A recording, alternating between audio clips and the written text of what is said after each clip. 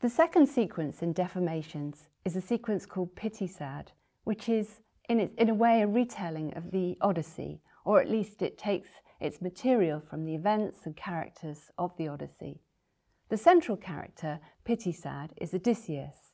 Pity-Sad is a reference to PTSD because the sequence looks at, amongst other things, the effect of trauma, uh, war trauma, displacement trauma on um, all those people who are involved in war.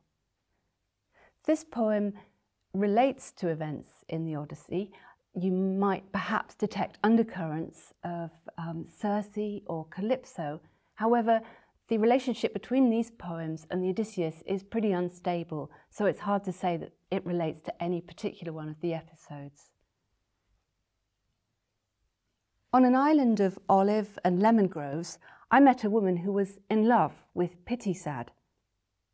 She was sitting in a room with the other women of the island, a waiting room, bare, with long benches along the walls, and when she raised her face to me, I knew it was her. I was shocked because she was an old woman. Her face was lined and her long hair was white.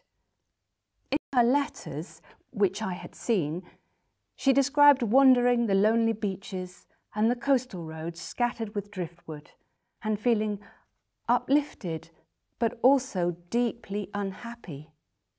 I tried to tell Pity-Sad. I said, She loves you. It's plain to me. I felt sorry for her, but also ashamed. I knew about this passion because it had come too late in her life. She resembled a tree ravaged by autumn storms. I spoke to her. I watched her aging naked face. She looked back at me without sympathy, without recognition, but reflectively.